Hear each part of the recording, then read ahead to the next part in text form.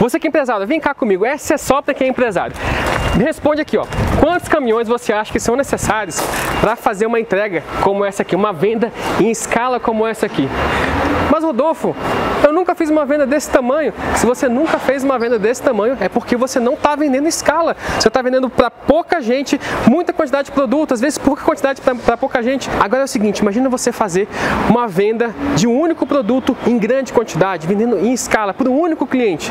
Essa é a minha realidade. Essa é a realidade das empresas que estão vendendo para o governo.